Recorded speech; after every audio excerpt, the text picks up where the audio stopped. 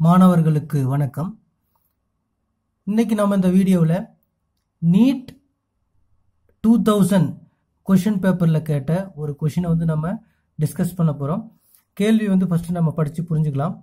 M one சமம் ஐந்து gram மற்றும் எம் டூ சமம் பத்து கிராம் நிறை கொண்ட இரண்டு பெட்டிகள் லேசான உராய்வற்ற அச்சின் வழியே படத்தில் காட்டியுள்ளவாறு செங்குத்தாக தொங்கவிடப்பட்டுள்ளது.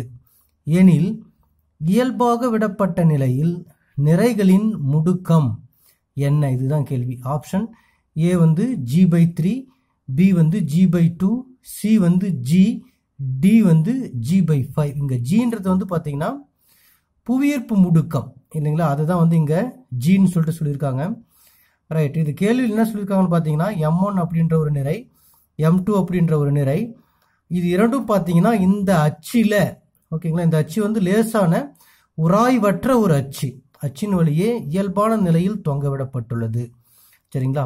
அப்படின்னா அதன் மீது வேற எந்த ஒரு நிறைகளும் செயல்பட விசைகளும் செயல்படவில்லை. இயல்பான நிலையில் விடப்பட்டிருக்கும் பொழுது இந்த இரண்டு நிறைகளும் என்ன முடுக்கத்தை செயல்படுத்தும்? இதுதான் வந்து கேள்வி. சரிங்களா? இந்த இப்போ இந்த கேள்வியும் இந்த படமும் வந்து கேள்வியில் கொடுத்துருக்காங்க. இந்த படம் வந்து பார்த்தீங்கன்னா நான் கொஞ்சம் புரியறதுக்காக வரைஞ்சிருக்கேன். இந்த படத்தில் பார்த்தீங்கன்னா நிறை வந்து எம் ஒன் நிறை வந்து அஞ்சு கிராம் அப்படின்னு குறிச்சிருக்கேன் எம் டூ நிறை வந்து பார்த்தீங்கன்னா பத்து கிராம் அப்படின்னு சொல்லிட்டு குறிச்சிருக்கேன் இந்த படத்தில் பார்த்தீங்கன்னா விசை அதாவது இந்த பத்து கிராம் பெட்டி தொங்க விடப்பட்டுள்ள அந்த கயிற்றின் வழியே என்ன விசை செயல்படுகிறது? அதே மாதிரி ஐந்து கிராம் நிலை தொங்க விடப்பட்டுள்ள கயிற்றின் வழியே என்னென்ன விசைகள் செயல்படுகிறது அப்படின்றத வச்சு பார்த்தீங்கன்னா நம்ம எஃப் சமம் எம்ஏ அப்படின்ற ஃபார்முலாவில் நாம் என்ன பண்ணலாம்? முடுக்கத்தை கண்டுபிடிக்கலாம். நாம் கொண்டு வர சமன்பாடு வந்து முடுக்கமும் புவியீர்ப்பு முடுக்கமும் சேர்ந்து வர மாதிரி ஒரு சமன்பாடை வந்து நாம் கண்டுபிடிக்கணும். ஏன்னா வந்து விடையில் வந்து பார்த்தீங்கன்னா புவியீர்ப்பு முடுக்கம் ஜி வருது. கேள்வியில் வந்து பார்த்தீங்கன்னா நிறைகளின் முடுக்கம் சாதாரண முடுக்கம் ஏ வருது. சரிங்களா? அப்போ ஏவும் ஜியும் வர மாதிரி ஒரு தொடர்பு கொண்டு வந்து நாம் என்ன பண்ணணும்? ஏ வந்து கண்டுபிடிக்கணும். சரிங்களா? ரைட் இப்போ வந்து பார்த்தீங்கன்னா நான் என்ன பண்ணிக்கிறேன்? இந்த படத்தில் பத்து கிராம் நிறையுடைய இந்த பெட்டி வந்து பார்த்தீங்கன்னா தொங்கிட்டு இருக்குது இல்லையா? இங்கே வந்து என்னென்ன விசைகள் செயல்படுது அப்படின்னு சொல்லிட்டு நான் ஃபஸ்ட்டு கணக்கில் எடுத்துக்கிறேன். இங்கே பாருங்கள் என்னென்ன விசை பொதுவாக விசைக்கான நம்ம விசையை வந்து எஃப் அப்படின்னு சொல்லிட்டு எழுதுவோம். இந்த நிறையின் காரணமாக கீழ்நோக்கி எம்ஜி அப்படின்ற விசை வந்து செயல்படும். ஓகேங்களா எம் என்பது நிறை ஜி என்பது புயிர் முடுக்கம். அப்போ எம்ஜி அப்படின்ற விசை வந்து கீழ் நோக்கி செயல்படும். டி அப்படின்ற விசை இழுவிசை வந்து பார்த்தீங்கன்னா அந்த கயிற்றின் வழியாக மேல் நோக்கி செயல்படும். சரிங்களா? அப்போ தொகுபயன் விசை அப்படின்னு சொல்லிட்டு பார்க்கும்போது எஃப் சமம் எம்ஜி மைனஸ் டி ஓகேங்களா இங்கே ஏன் வந்து டி மைனஸ் எம்ஜி அப்படின்னு எழுதக்கூடாது அப்படின்னு சொல்லிட்டு பார்த்தீங்கன்னா இங்க எம்ஜி இழுவிசையை விட நிறை பத்து கிராம் நிறைன்றது அதிகமா இருக்கின்ற காரணத்தினால தான் இந்த அஞ்சு கிராம் பெட்டியை விட இது கீழ் நோக்கி இறங்கியிருக்கு. ஸோ பத்து கிராம் அந்த நிறையின் காரணமாக இருக்கக்கூடிய அந்த எம்ஜி விசை அதிகமாகவும் என்னது இந்த இழுவிசை வந்து குறைவாகவும் இருக்கும். அதனால தான் பார்த்தீங்கன்னா என்னது எம்ஜி மைனஸ் டி அப்படின்னு சொல்லிட்டு போட்டிருக்கேன். சரிங்களா? ரைட் அடுத்தது அப்போ நமக்கு என்ன கிடைச்சிருக்கு பாருங்க எஃப் சமம் எம்ஜி மைனஸ் டி இந்த பத்து கிராம் நிறையில வந்து பார்த்தீங்கன்னா தொங்கிட்டு இருக்கிற அந்த கயிற்றின் வழியே எஃப் சமம் எம்ஜி மைனஸ் டி அப்படின்ற அந்த தொகுப்பையின் விசை இருக்கும். சரி இந்த எஃப் வந்து நான் என்ன எழுதுறேன்? எம்ஏ அப்படின்னு எழுதலாம் நான். எஃப் சமம் எம்ஏ நம்மளுக்கு ஃபார்முலா தெரியும். இங்க நிறை எம் எவ்வளோன்னு சொல்லிட்டு பார்த்தீங்கன்னா பத்து கிராம். ஸோ நான் என்ன பண்ணுறேன் எஃப் சமம் எம்ஏக்கு பதிலாக பத்து ஏ அப்படின்னு எழுதுறேன். சமம் இந்த எம்முக்கு பதிலாக பத்து அப்படின்னு எழுதுறேன். அப்போ பத்து ஜி மைனஸ் டி இதை வந்து நான் சமன்பாடு ஒன்றுன்னு எடுத்துக்கிறேன். சரிங்களா? அடுத்தது அதே மாதிரி இந்த ஐந்து கிராம் நிறை அந்த தொங்கக்கூடிய கயிற்றின் வழியே எவ்வளவு தொகுப்பயன் விசை செயல்படும் அப்படின்னு நம்ம பார்த்தோம்னா இங்க பாருங்க.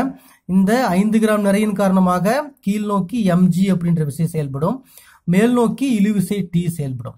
இதுல வந்து எம்ஜி அதிகமா இருக்குமா இழுவிசை டி அதிகமா இருக்குமா அப்படின்னு நாம யோசிச்சு பார்த்தோம்னா டீ தான் அதிகமாக இருக்கும். ஏன்னா இங்கே வந்து பத்து கிராம் நிறை தொங்க விடப்பட்டிருக்கின்ற காரணத்தினால இந்த அஞ்சு கிராம் நிறையானது மேல் நோக்கி இழுக்கப்படும். இல்லையா? அந்த இழுவிசை இந்த கயிற்றின் வழியே அதிகமாக இருக்கும். அப்போ இழுவிசை டீ அதிகமாக இருக்கும். இந்த எம்ஜி அந்த அஞ்சு கிராம் நிறையின் காரணமாக இந்த எம்ஜி நிறை வந்து பார்த்தீங்கன்னா குறைவாக இருக்கும். ஸோ நம்ம என்ன தொகுப்பையின் விசை எழுதும் பொழுது டி மைனஸ் எம்ஜி அப்படின்னு சொல்லிட்டு நம்ம எழுதணும். அப்போ எம் எஃப் சமம் டி மைனஸ் எம்ஜி இந்த கைட்டின் வழியே செயல்படக்கூடிய என்னது? மொத்த தொகுப்பு மொத்த தொகுப்பையின் விசை. அதே மாதிரி முன்ன மாதிரி எஃப் சமம் எம்ஏ ஃபார்முலாவில் இங்கே நிறைய வந்து பார்த்தீங்கன்னா அஞ்சு கிராம். அதனால அஞ்சு ஏ அப்படின்னு எழுதியிருக்கேன். சரிங்களா?